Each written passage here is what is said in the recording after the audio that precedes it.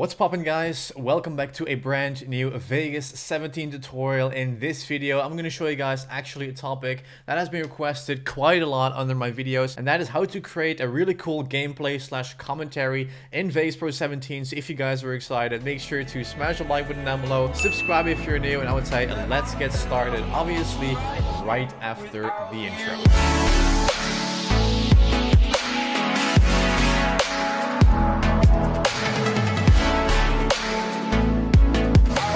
So as you can see right now we are in Vegas Pro 17 and, and the first thing you'll need is gameplay footage. Now there are multiple ways you can record it, such as using OBS if you're on a computer, you can use an Elgato game capture device if you're on a PlayStation 4 or on an Xbox or basically a console. So in order to actually create a commentary, you need the gameplay on your computer. So in order to actually create a gameplay slash commentary, what you need to do is basically get the footage onto your computer and you want to drag that into Vegas Pro. Alright guys, so as you can see, this is our gameplay. So in order to actually make this a little bit more attracting, what you can do is, first of all, this is really, really important. And this is basically a rule that's been applied by a lot of video editors. And that is to make this footage a lot smoother. So what you want to do then is you want to right click on the video, hit properties at the very bottom, and you want to uncheck maintain aspect ratio and disable the resample. That's going to make your gameplay look just a little smoother, especially for gaming when you're gaming in high FPS, such as 60. Okay, so the next thing we need to do is spice up the footage just a little bit. I think this footage looks a little, little bit plain, a little bit like grayed out, a little bit like it could just use a little bit more power. So we're going to go to the video effects tab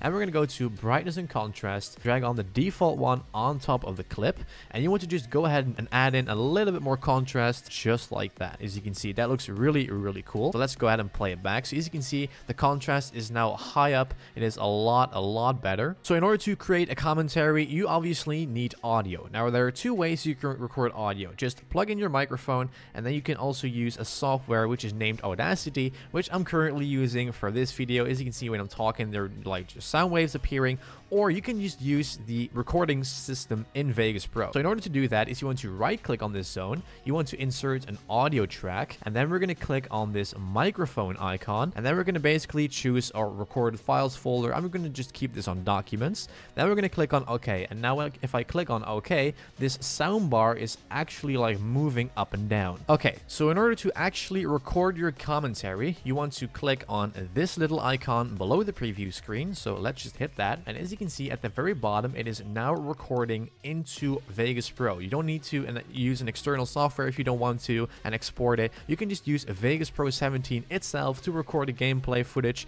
or like a commentary and talk about a lot of things. And that's basically how you can do it, guys. And the, obviously, like the cool thing is that you can also just, you know, for example, add in overlays, screen captures, pictures, anything like that. If you're talking about, you know, specific items during your commentary, let's say that you're talking about the adpocalypse adpocalypse, for example. Let's you're just having gameplay underneath it while you're talking. What you can do is you can just go ahead and add like, you know, screen recordings from your videos being demonetized, any of that stuff. Basically like a lot of like really, really big gaming YouTubers are doing right now. They're just covering news with like gameplay underneath it. And that's a really, really cool way to create some awesome gaming slash commentary videos in Vegas Pro 17, guys. That's it for this video. Thank you so much for the continued support. And this is how to do it. If you have any more suggestions you want to know in Vegas Pro 17 about gaming slash commentaries, make sure to drop them in the comments down below. So guys, that's it for this video. Thank you so much for the continued support. I apologize I didn't put the green screen out because I have a little bit of a time deadline. I have to run into all kinds of meetings.